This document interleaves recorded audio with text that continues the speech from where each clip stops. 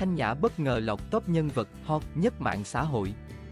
Theo công bố mới nhất đến từ bảng xếp hạng BSI Top 10 Influencer, tiền vệ của đội tuyển nữ Việt Nam, Nguyễn Thị Thanh Nhã bất ngờ vượt mặt những cái tên rất nổi tiếng của làng giải trí Việt.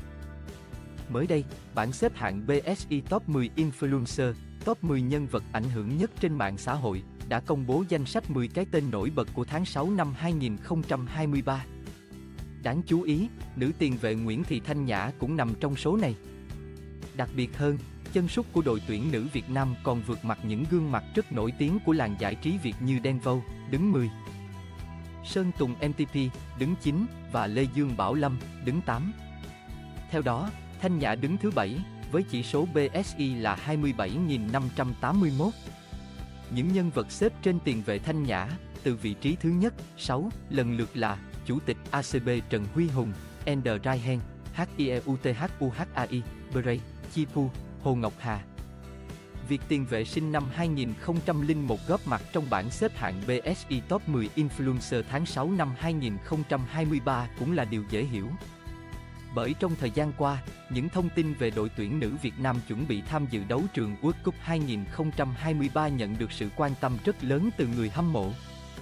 Trong đó, Thanh Nhã luôn được xem là nhân tố nổi bật của đội tuyển nữ Việt Nam với vẻ ngoài xinh xắn và tài năng trên sân bóng.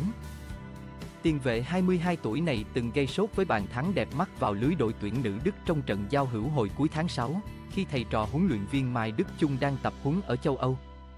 Pha lập công này có lẽ là yếu tố quyết định giúp Thanh Nhã lọt vào top 10 nhân vật ảnh hưởng nổi bật nhất mạng xã hội tháng 6 năm 2023.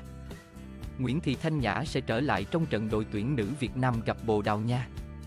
Ở trận đội tuyển nữ Việt Nam thua 0-3 trước Mỹ, thuộc lượt trận đầu tiên bảng E World Cup 2023, Thanh Nhã gặp vấn đề về sức khỏe nên không thể ra sân.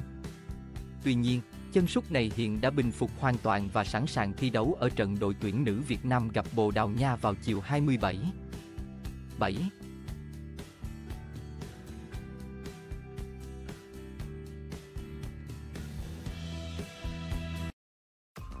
Cảm ơn các bạn đã theo dõi video, đừng quên nhấn đăng ký để ủng hộ đội ngũ kênh. Hẹn gặp lại trong các video trước theo.